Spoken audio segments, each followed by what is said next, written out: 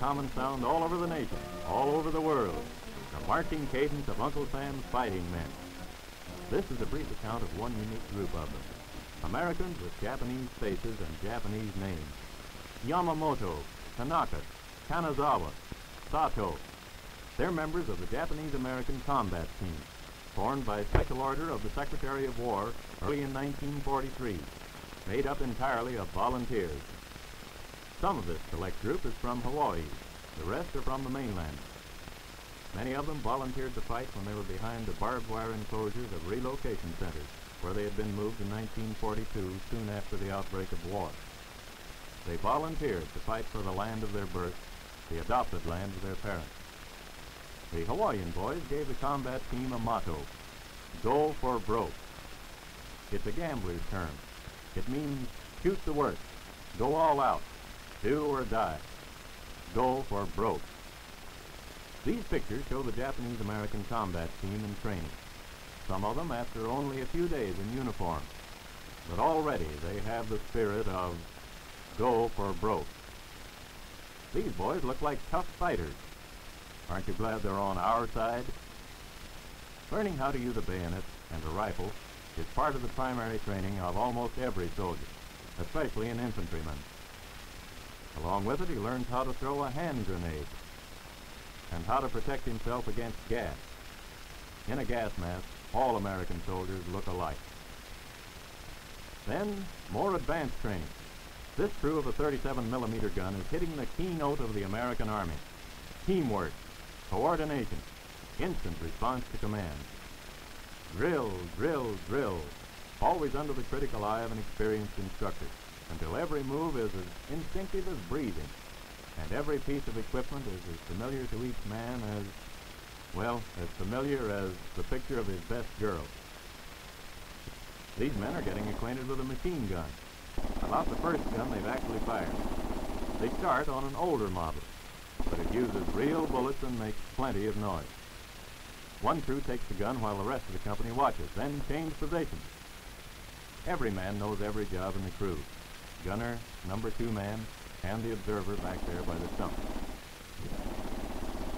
Advancing across an open field. Field training is one step closer to readiness for actual combat. This infantryman and his buddies carry their own weed patch camouflage on their helmets.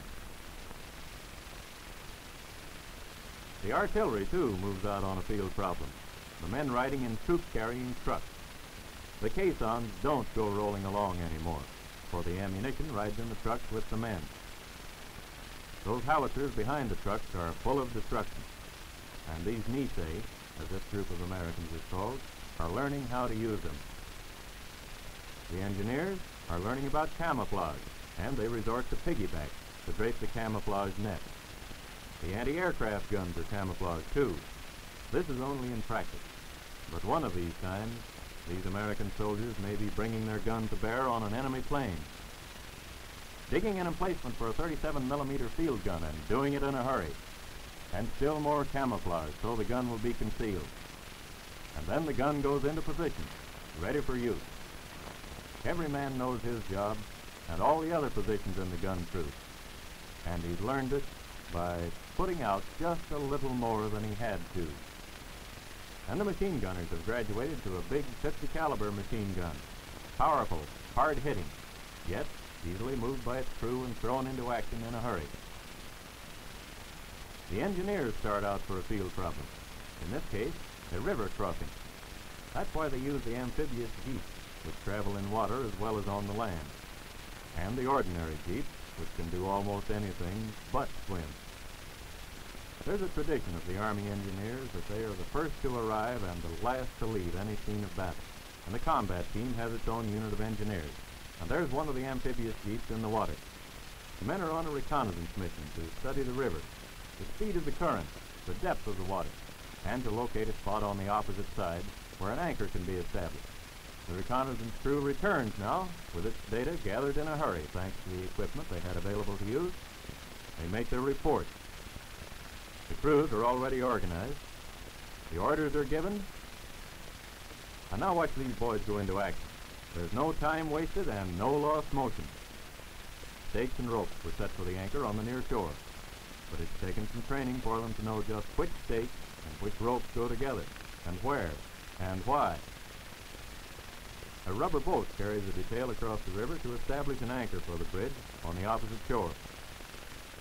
Even for a simple bridge, it takes some good engineering and some husky manpower.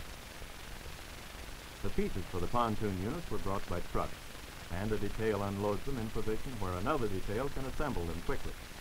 That takes planning, organization, training. As each piece is assembled, it goes into the water, and section by section, the bridge goes across the river, one and another and then another.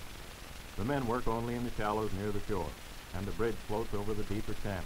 The sections lie firmly to make a sturdy crossing. In only a few minutes, it reaches the opposite shore. And when it's done, the fighting engineers take up their rifles and cross to hold the bridgehead. Oh, the double quick is too slow for these boys. They move at a dead run. Up the hill, deploying through the woodland. If they ever have occasion to fight in jungles, they'll be ready for it as a result of their training at Camp Shelby, Mississippi. The officer receiving the message here is one of the highest-ranking Nisei officers in the combat team.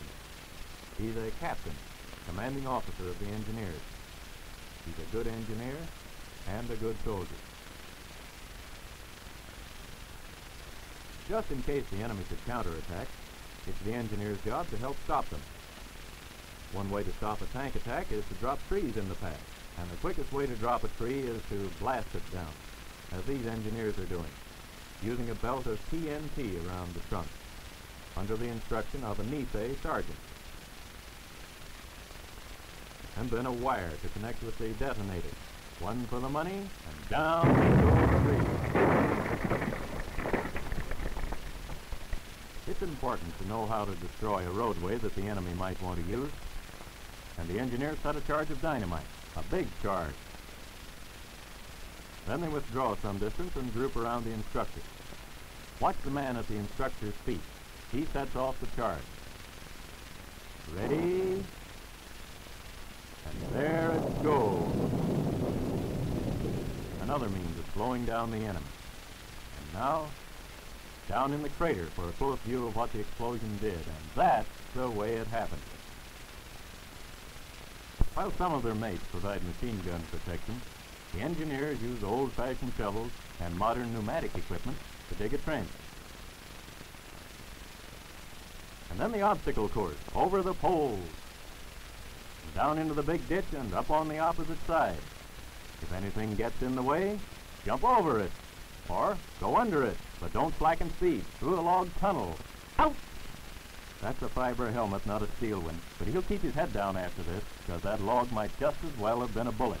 Up and over in one jump, and woe unto the man who lands in the middle. Full speed ahead at a crouching run. This is recommended for the waistline. And then the eight-foot wall. Over. We almost didn't make that one. Down onto the opposite side and onto the next obstacle.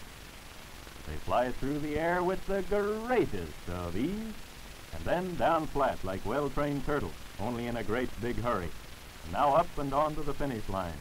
That's the obstacle course, one of the helps in making an ordinary fellow into a soldier.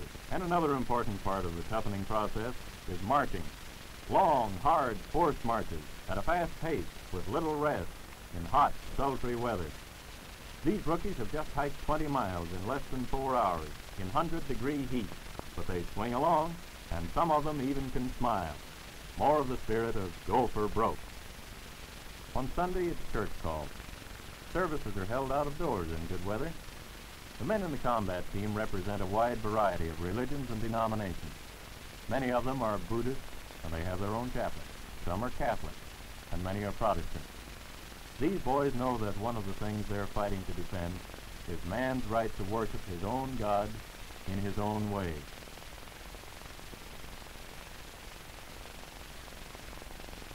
It's the end of the day at Camp Shelby, and the combat team forms for retreat, with the colors presented to the honor company. The commanding officer and his staff review the entire unit, the Yamamotos, the Tanakas, the Kanazawas, the Satos, numbering into the thousands. The boys with Japanese names, Japanese faces, but with minds, hearts, and spirits that are enthusiastically, earnestly American. They're trained to make their contributions to victory for democracy and all that democracy means. Tolerance, freedom, and equal opportunity regardless of race or ancestry. To be amply ready to achieve this victory, in their training and in any combat action which they may see later, they'll spare nothing. They live their motto, go for broke.